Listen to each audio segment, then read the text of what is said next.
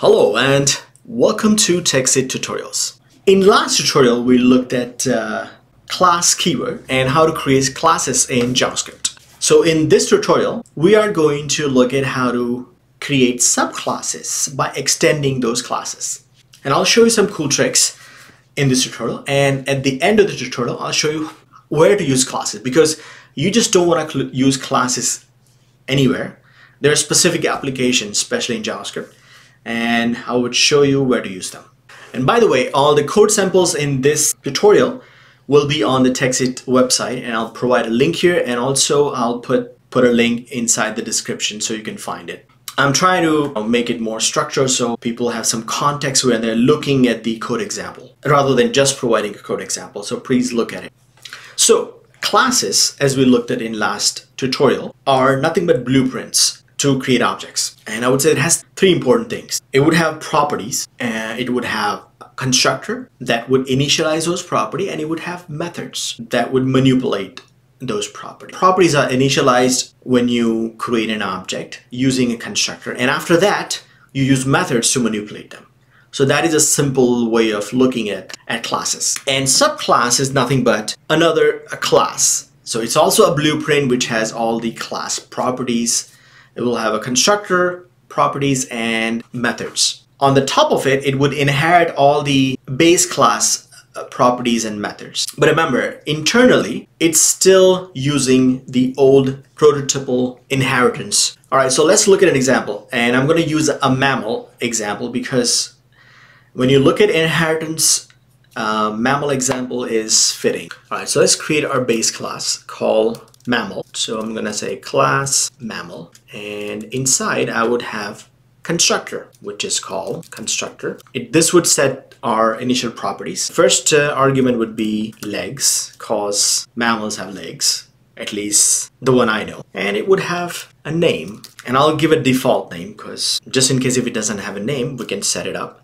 So I'm gonna call it John Doe, which means if you don't give it a name, it will be a John Doe by default. All right, so inside you would just say this dot uh, legs equal to legs. This dot name equal to name. And inside I can have something that is true for all the mammals.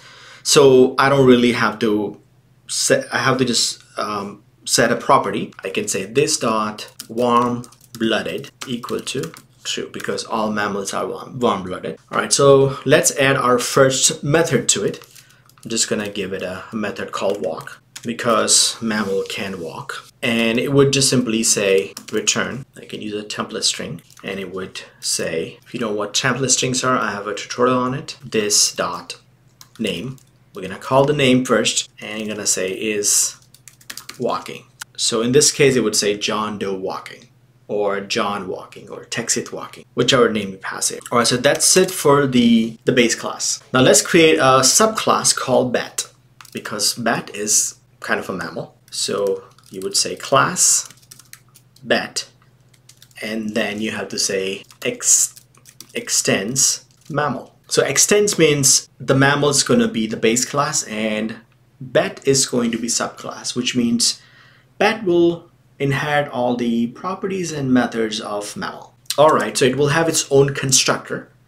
So I would say constructor and we'll set the property in a minute. So what do I pass in here? So it I would have to pass all the properties that I need to set in mammals uh, in here as well.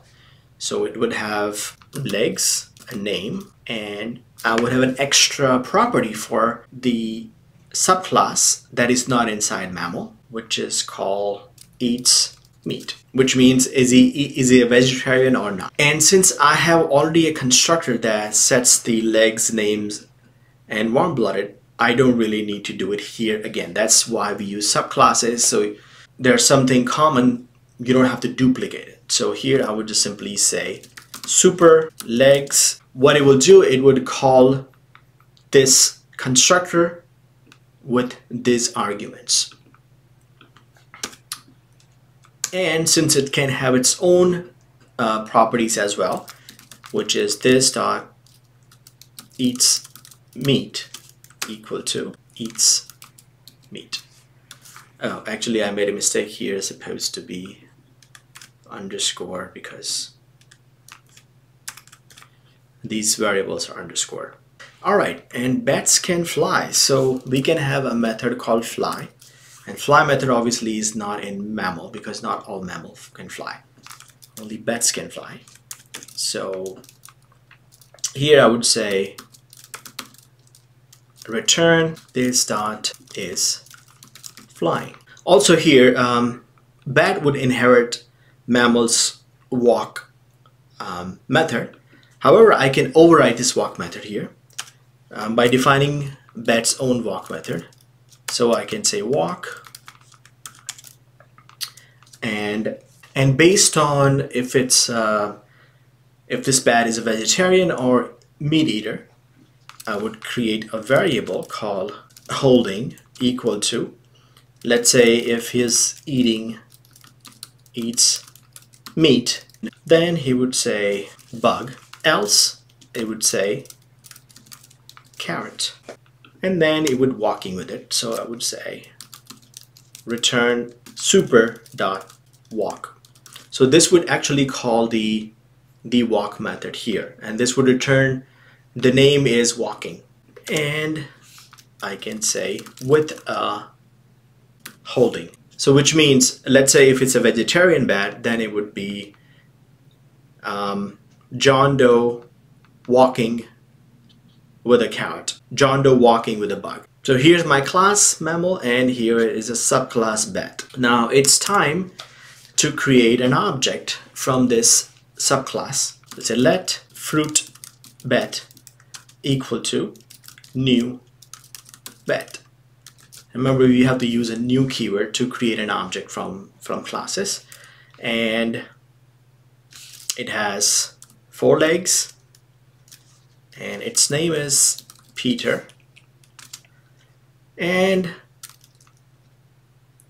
he doesn't eat meat so I would just say false which means he's a vegetarian. So if I look at console log fruit bat. So here I have a bat with it's a vegetarian bat because it's a, eats meat is fault. It has four legs. His name is Peter and is warm blooded. And if I look at his prototype, I would have a constructor. It has a constructor and it has two methods, fly and walk. And in Chrome, if I just hover over these methods, I can see actually the definition of this method so I can know, I would know what exactly they are. If I hover over bat, I can see the entire bat. So if I say food bat dot walk and execute it, uh, this name is walking, which, which means I made a mistake somewhere.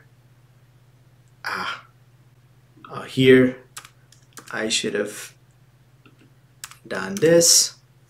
If I run it again, it says Peter is walking with a carrot. So our bat uh, named Peter is walking with a carrot. So that's how you create a subclass. Now let me show you some interesting uh, tricks so you can simplify this further. And this example anyway is too cluttered, so I want to I want to use a little bit simpler, simpler example. So let's say if I take the same base class, mammal, and inside I have a constructor which has, let's say has many arguments. So it will have A, B, C, D, and E.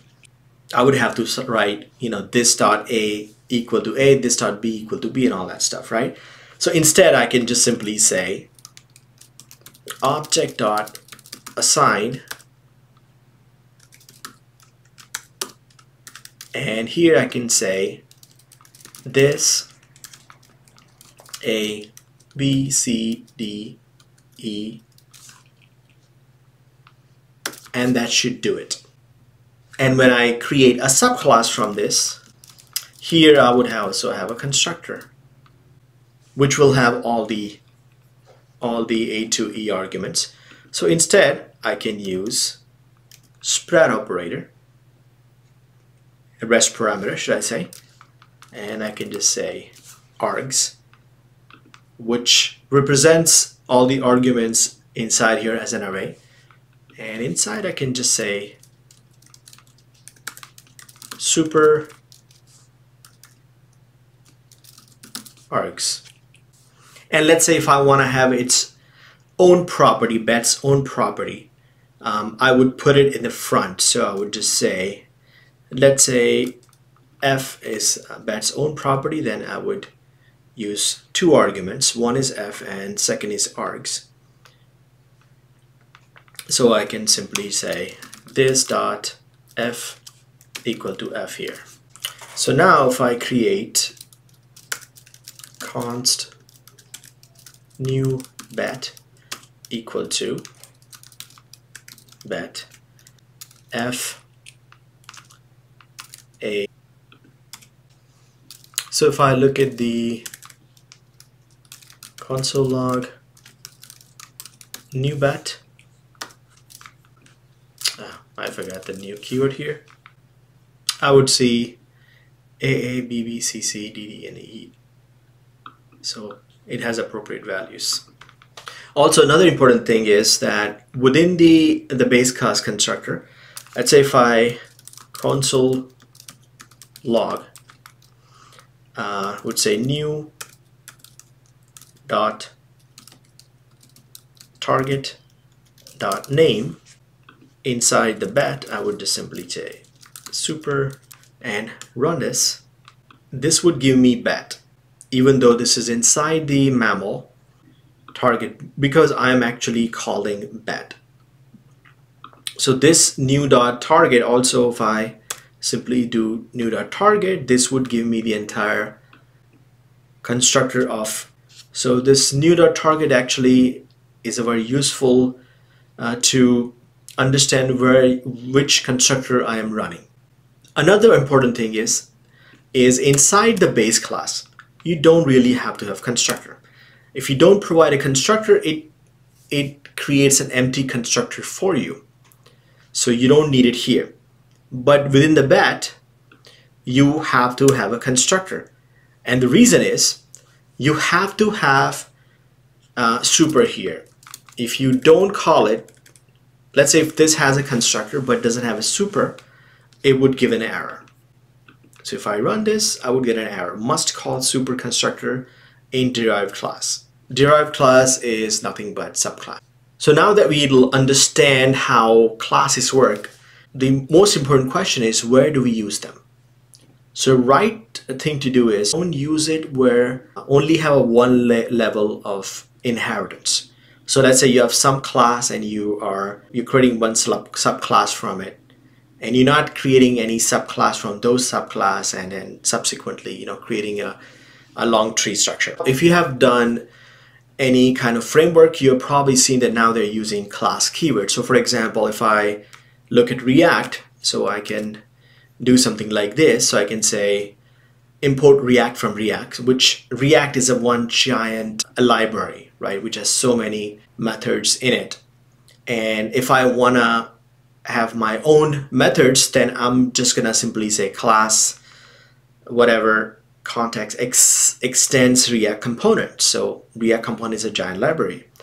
And I'm gonna have my constructor, but just by calling super. And then it would have like a render method, which is my own uh, method. So this is only gonna go one level deep. Before introduction of classes, you used to use also extended where the extend function was a polyfill which would basically copy all the uh, methods that are in the React component into this uh, context. The next tutorial we are going to look at is static methods and I'll provide a link here and I hope you learned something from this tutorial. If you did, please like, subscribe and provide a constructive comment. Thank you.